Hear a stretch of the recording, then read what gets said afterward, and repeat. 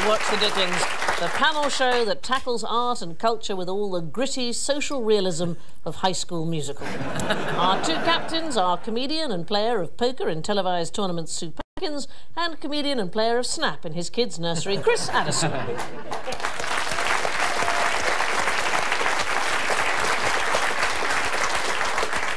Sue's guest is a comedian who has worked in a garage, as a TV repairman, as a poet, as a journalist, and now continues that downward spiral by joining us tonight. It's comedian Mark Steel.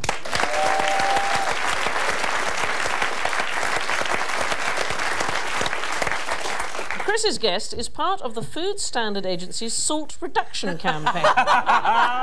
which Highlight. rails against the dangers of salt. This has made her not only a standard bearer for health, but also something of a hero amongst the slug community. Please welcome Jenny Eclair. Oh, The first round is Three Steps to Heaven. We show our teams three images in turn, each offering a clue to a famous film, book, play, or musical. Three points are awarded should they guess the answer from the mind bogglingly difficult first picture, reducing to just one for the mind numbingly obvious third picture. So Sue and Mark are going to get us underway, and here is your first clue.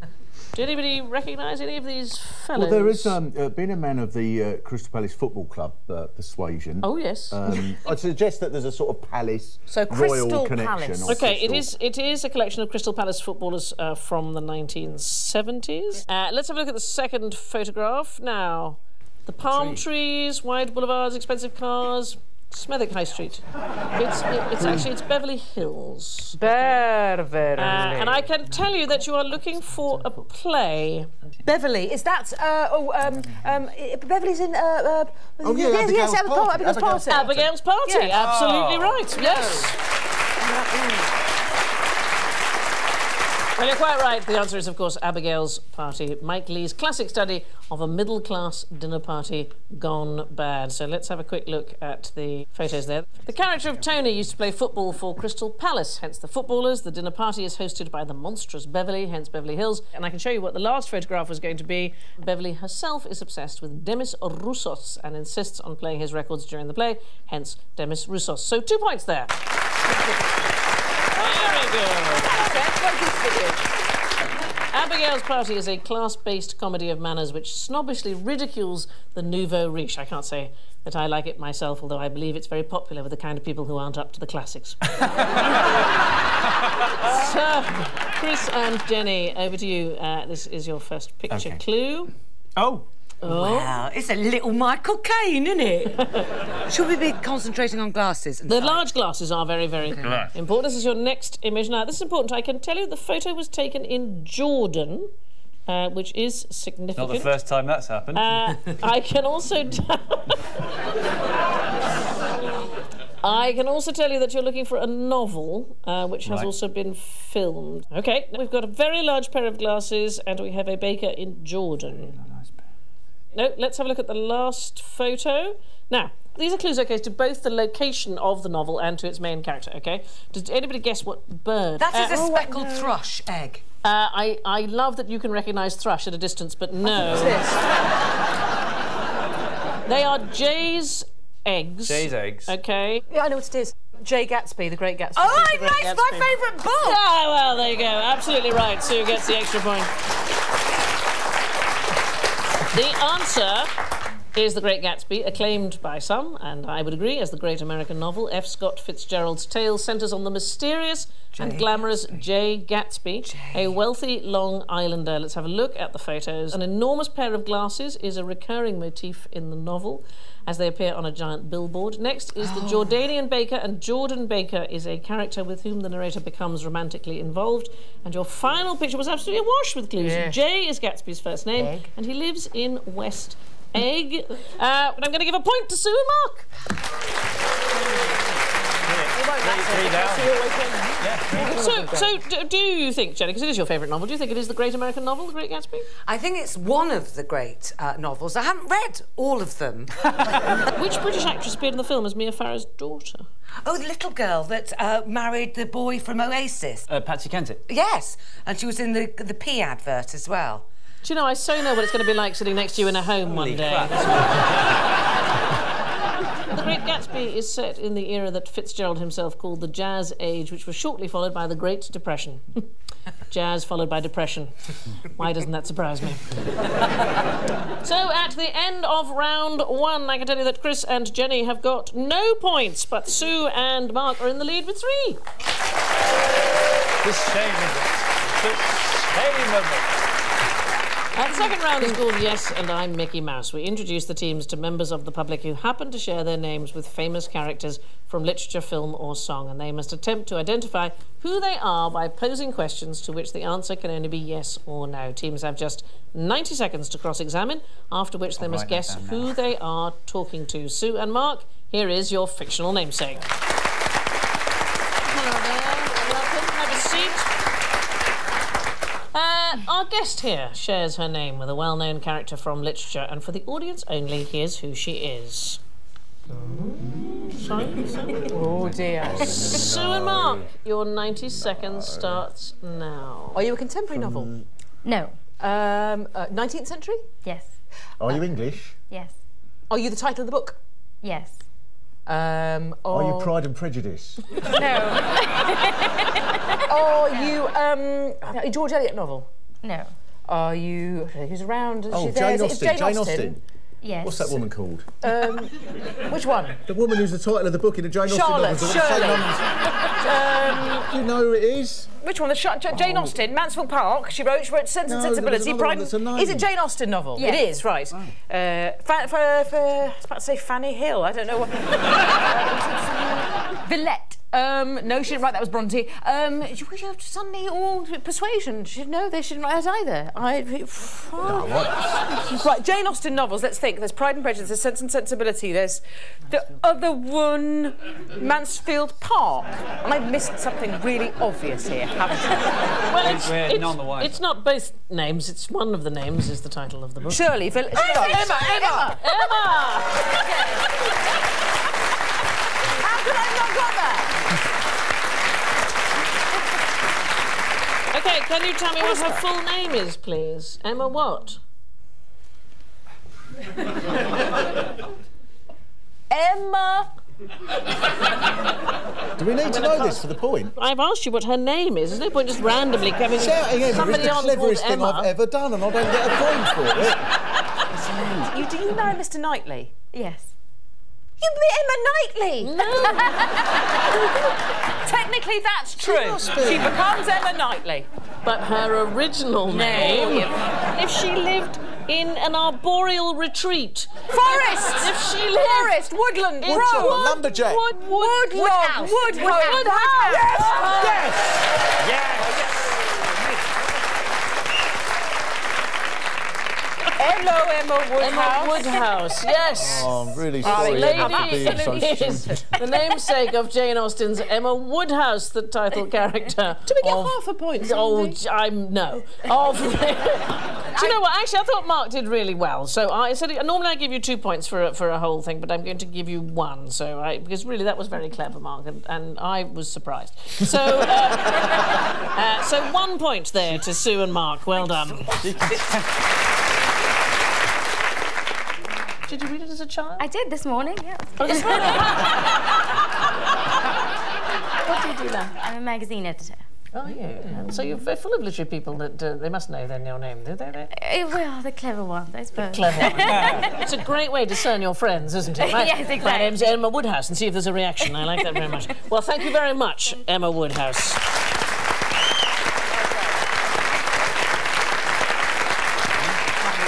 When starting the novel, Jane Austen said, I'm going to take a heroine whom no one but myself will much like, and in the eyes of millions of A level students, well done. right, Chris and Jenny, let's meet your namesake.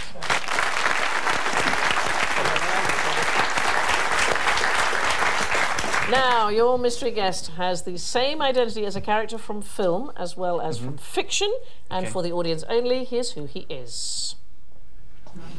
Oh. So, Chris and Jenny, your 90 seconds begins now. Uh, is the fiction a novel? Yes. It is. Okay. Is it an American novel? Yes. Is it The Great Gatsby? No. Is it uh, from the 20th century? Yes. Okay. Uh, is it, are you the title character? Yes. Uh, are you a goodie? No. Okay. I think you are quite good. Yeah, Okay. I, am going to go with yes. Um, are you Jesus? Oh, no. Do you live outside the law? Yes. Are you a cowboy? No. uh, is the film recent? Yes, they are.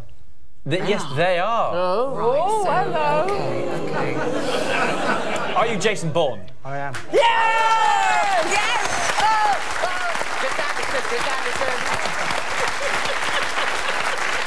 I can tell you that this gentleman shares his name with Robert Ludlum's action hero Jason Bourne, as played in the films The Bourne Identity, The Bourne Supremacy, and The Bourne Ultimatum with Matt Damon. Two points, so well done. Thank yes. you very much. Patronisingly clap. Is there a reaction amongst your friends that, that you are the Jason Bourne? Yes. What do you do for a living? I'm a computer engineer. I'm an assassin for the CIA. Well, thank you very much, Jason Bourne. You know what? To be honest, they're really good.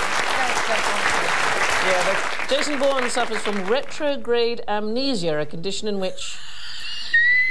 That's what I've got.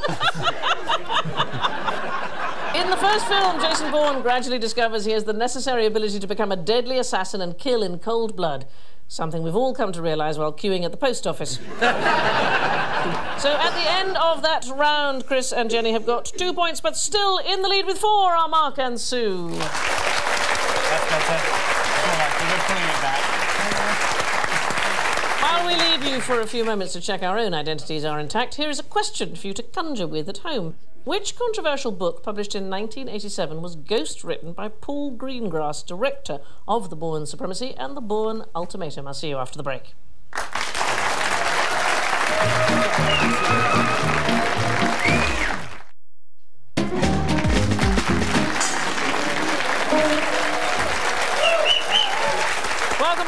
The Dickens, where before the break I asked which controversial book published in 1987 was ghost written by Paul Greengrass, director of The Bourne Supremacy and The Bourne Ultimatum. Anybody? We know, we know, Spycatcher. Oh, you both He just do. said it. He said it Yeah. first. Uh, the answer is the book the government tried to ban, Peter Wright's Spycatcher. We move on now to Love It or Loathe It, in which our guests select something from the arts that either enchants or repels them. They must claim that they both love it and loathe it in turn.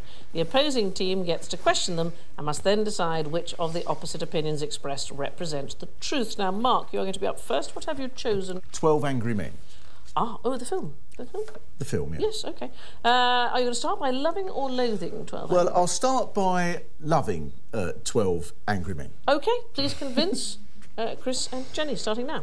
Uh, now, I just find this an extraordinary piece of work because it is about one man in this room with 11 other men on the jury, and uh, quite simply, he's got the job of trying to convince them that this apparently, obviously guilty defendant is actually not guilty. And it's just a tremendous example of how one person speaking out can uh, can make the difference. And so uh, it seems as if it's hopeless. It's the situation that we've all faced so many times in life. You know, what's the point of speaking out? It won't make any difference. But not only that, but all the people, many of which are sort of racists in the room because the defendant's black and they really have no time for him, he manages to convince them by trusting the good in them and seeing the good in, in all of them all the time. But he wins them over very carefully, and I think therefore it's not just a brilliant film, but it's also a model in life in how to deal with bigotry and so on. Be the one person prepared to speak out, but do it gently. And the great thing that it not just says, but I think leaves a resonance of saying is one person can make a difference. This is a wonderful film. That bit it? with the knife, do you not think that's a fantastic The wonderful bit with the knife Yeah. or the rubbish bit with the knife? Okay, well, let's flip the coin and have you now loathe the film, please. What a pile of stinking liberal twaddle. I watched this and I thought, oh, for God's sake, who on earth can believe that this person would be able to win an argument, even with the hardest racists? I mean, you sort of meet some of these people at times, and it's absolutely absurd the idea that you can just gently win them over. It made me so bloody irritated. The idea that they all come round and see the error of their ways is, frankly, the type of disgusting middle class twaddle that has made this country the pit it is.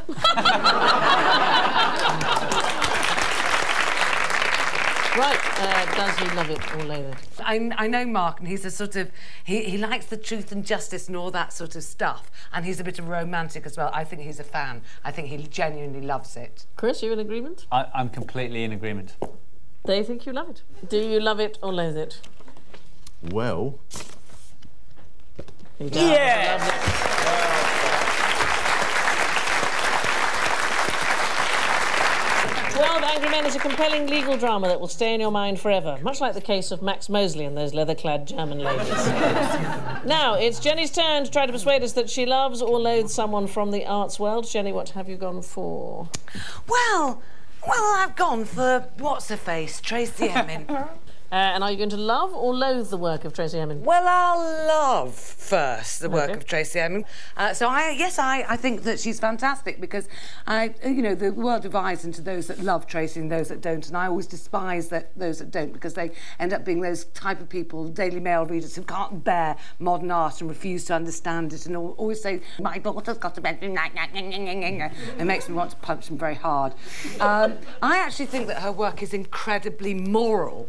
Uh, in so much that if you do see the bed, the infamous bed, uh, which she should have won the Turner Prize for and didn't, I can't remember the year, but it was that spectacular year, wasn't it, where she wandered onto the South Bank show very drunk and uh, didn't know where she was. We've all been there. Not on the South Bank show, obviously, haven't been asked, not yet, but after doing literary shows like this, it's only a matter of time. But. Um, Anyway, now you, you see that bed in all its sort of spectacular, spunky old sort of destroyed, uh, you know, the opposite of glory. I think it's a real wake-up call to lots of girls who've been living that kind of lifestyle. Okay, well, let's, let's, let's, let's, move on. Let's move on. Uh, we'll flip the coin here. I now need you to loathe Tracey Emin. so overrated, and I do think she gives women artists a terribly bad name because it is so internal, navel gazing. She's like a tiny girl who sort of can't, are just so intrigued by their own bodily secretions that they pick their noses and they wipe their bogies on the wall.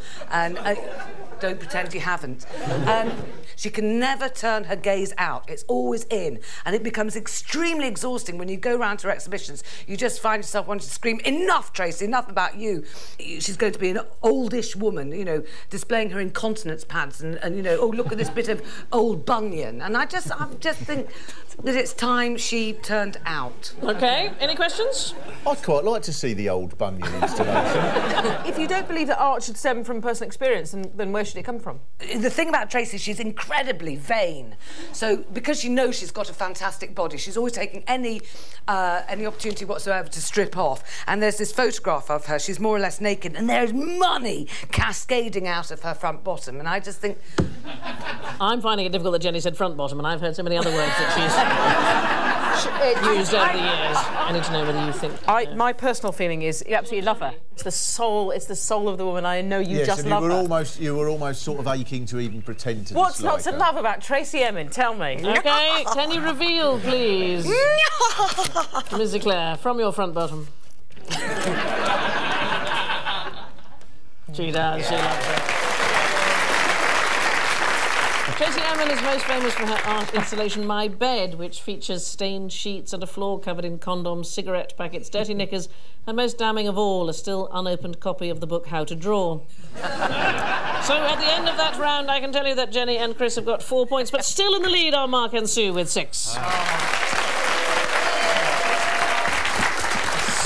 So, with Chris and Jenny Anita points, we finish with losing the plot. In this quick fire round, our captains communicate the plot of a work of literature, film, or song to their teammates without mentioning names or places and without alluding to the title in any way.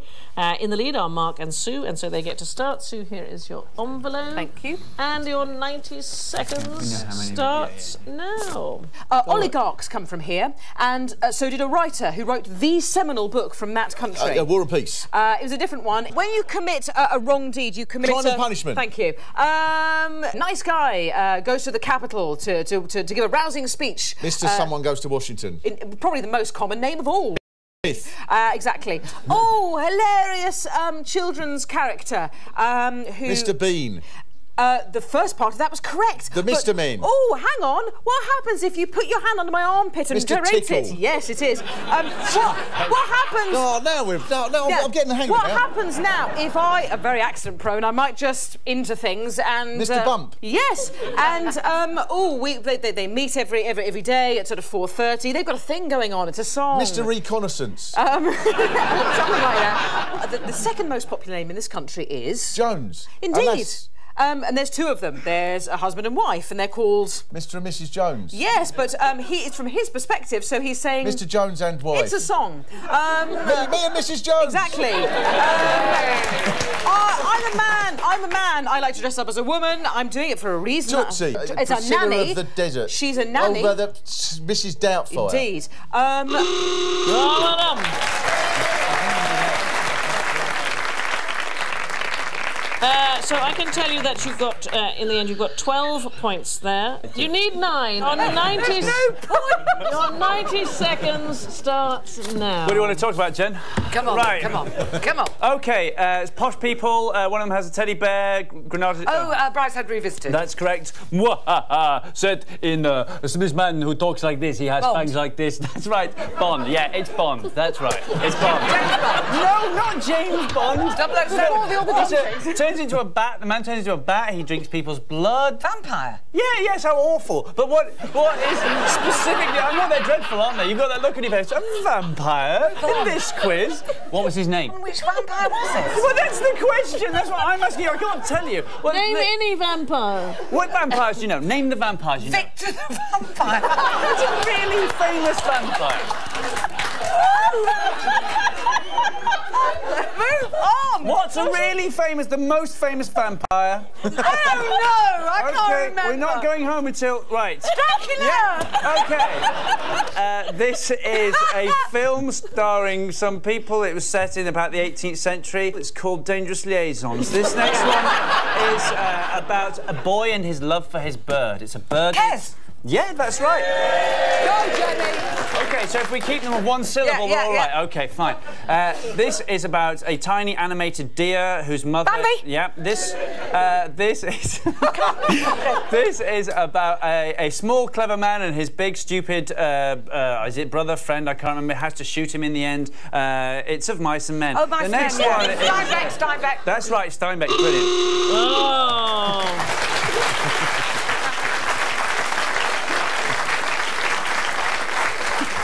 so close. Why, another six and you'd have won. That we're not- brilliant. The Dracula thing, because the, the, there'd have been like 18-month-old babies going, Dracula, Victor the Dracula. vampire. You managed to get Kes, Bambi, and Brideshead revisited, and that was it. That was your lot. What all this means is that at the end of the show, our shamed losers are Chris and Jenny with seven points, and our exultant victors are Mark and Sue with 12. Victor Vampire. I love Victor the that. Uh, this has been What the Dickens. I've been Sandy Toksvig, and I'm off to the theatre to see The Mousetrap and shout out, The Butler did it. I'll see you there. Good night.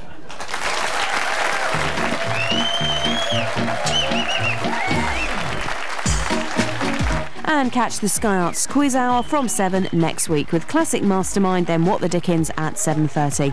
Up next tonight on Sky Arts 1 and Sky Arts HD, the question is, where's tonight's Heartland USA headed?